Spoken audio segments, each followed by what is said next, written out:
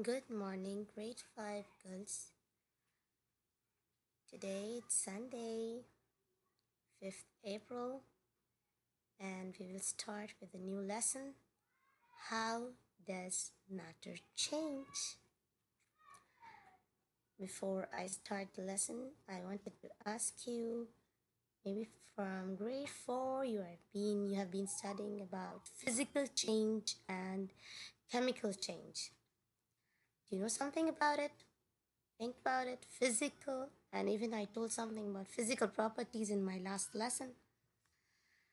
Matter has physical properties that can be observed without changing the type of matter. I told you to hold a pen or hold any object, try to explain me the physical property of it.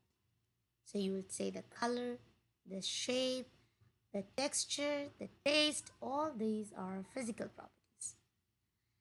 Without changing the type of the matter, you don't change the type of the matter.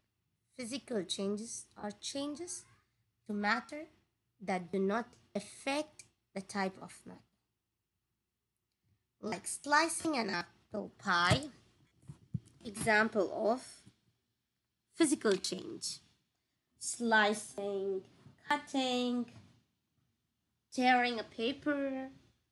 There are number of examples, simple examples, which are under physical change. Meanwhile, please take a sticky note, write by your own physical changes, and give me some examples, and write chemical changes and their examples too. So, can you see these three pictures? Burning, frying an egg, bacteria decomposing it. These all are chemical changes. After you burn the wood, it becomes ashes, and those ashes cannot turn to the wood. Egg, once you have made the egg, you cannot bring it back to that shell. Similarly, decomposition. Chemical changes result in a change in the identity of matter. It results in a change, the matter, the identity of the matter changes. It does not remain the same. Like example, girls, you know iron. Uh, in the in the school, I took you all to lab and I showed you an example of iron and mud, and how I was separating iron because it's just a mixing because like example I take one spoon of sulfur an element powder and I take one spoon, spoon of iron. They don't they don't mix I mean they don't uh, what do I say? They both are solid powder okay? I mix them and then I take a bar magnet.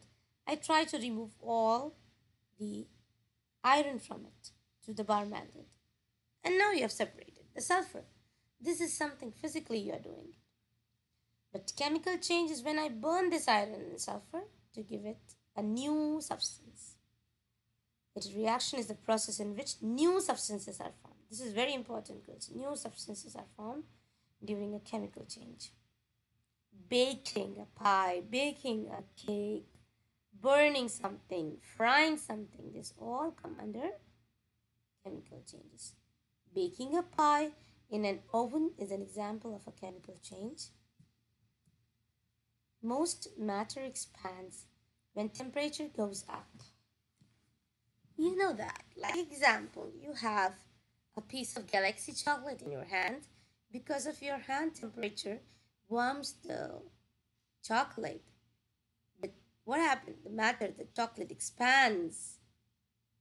Okay, and contracts when the temperature goes down. And again, I keep it into the freezer. What happened in the freezer? It will contract.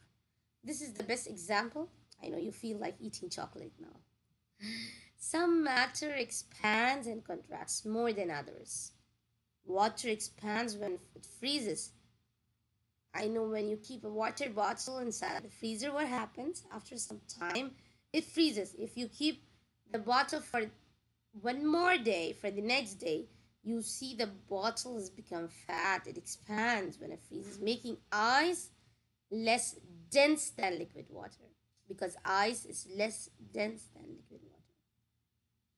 Coming to your engage your brain girls, a piece of iron